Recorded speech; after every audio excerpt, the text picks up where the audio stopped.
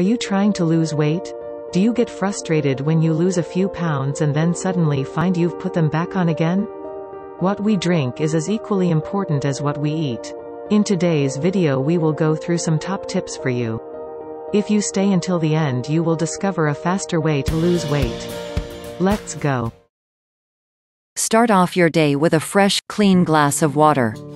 As soon as you get up in the morning, drink one down.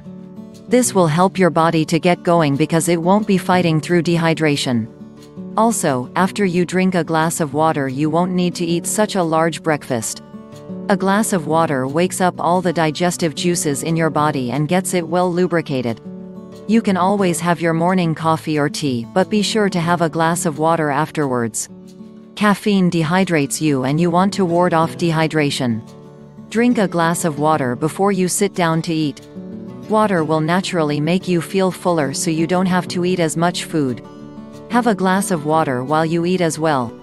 Take a drink after each bite and you will feel full more quickly so you can leave the table feeling satisfied without feeling bloated. Drinking water while you eat will also help your food to settle more quickly, which also helps you to feel full faster. Do your best to stay away from soda. All sodas are sweetened with lots of sugar. The more you can cut out of your diet the better. Also, diet soda is still soda. It may not have as much sugar, but it has other chemicals and components that are not good for your body either.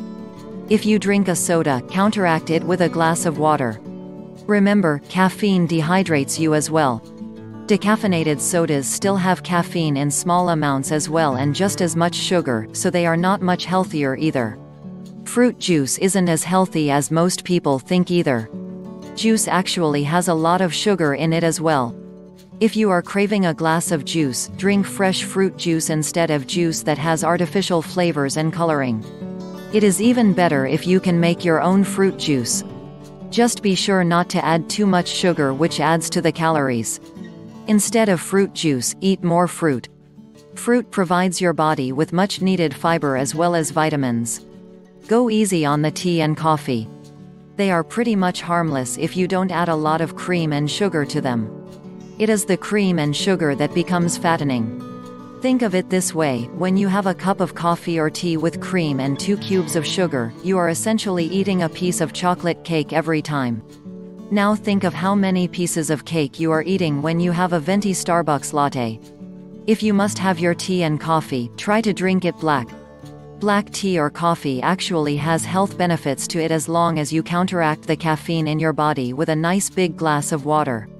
Caffeine is also not good for you because it affects functions in your body, like your metabolism. Another type of tea that you can drink freely is green tea. Green tea has been used as a medicine in China for over 4,000 years. It aids the digestive system and can help ease an overly full stomach and it has been linked to a reduction in cancer risk. If you can say no to alcohol, then that is best. Alcohol beverages are not exactly good for you, although a glass of red wine does have heart benefits, most are just fattening. Beer is especially fattening. Cocktails are fattening depending on what they are made of. For instance, whiskey and coke. The whiskey may not be fattening, but the coke definitely is. Plus, after a few drinks most people get the munchies and when you're feeling a little inebriated and hungry you won't be able to make rational decisions regarding your diet and it's usually late at night, just before you pass out from a night of drinking, that you overeat. The overall combination is just not a good one. If you must have alcohol, try dry wine. Dry wine is better than your sweet wines, because sweet wines have more sugar. Dry wines have sugar, but most of it has been fermented away into alcohol and from a weight-gaining perspective, dry is better. Another word on coffee, that is not necessarily bad, but more interesting than anything. Some people have reported that when they drank black coffee before exercising, they lost more weight. There's no scientific proof to back this, but nutritionists believe it may be caused by the body being forced to depend on fat for fuel.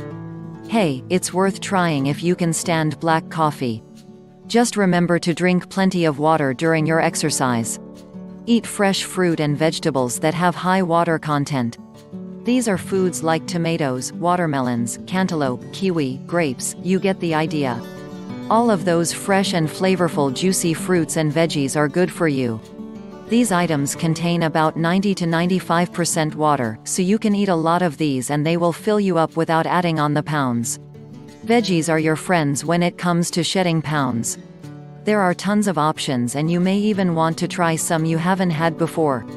The leafy green varieties are the best and you always want to work in a salad when you can. Salads are packed with nutrients as long as you don't pour too much dressing on and load them with too much cheese. The leafy greens also have a lot of natural water. Be intelligent about what you eat. Don't eat just to eat. Animals eat on instinct, people eat when they know their body really needs it. Don't be an impulse eater. Watch everything you consume from the food itself to what you top it with. Garnishments and condiments can sabotage a healthy meal because they are typically high in fat. Set meal times and stick to them. Try to have your meals at specific times and eat them at that time. An eating pattern will help you to control what you eat and when you eat it. Also, it really is better to have five small meals a day rather than just one or two huge meals. Just eating once a day makes your body feel as though it is starving, which packs on fat instead of using it as fuel. Also, don't wait until you're starving to eat. This only makes you overeat until you're stuffed. If you would like to fast track your weight loss and save the frustration then click the first link in the description. We hope you enjoyed the video, thanks for watching.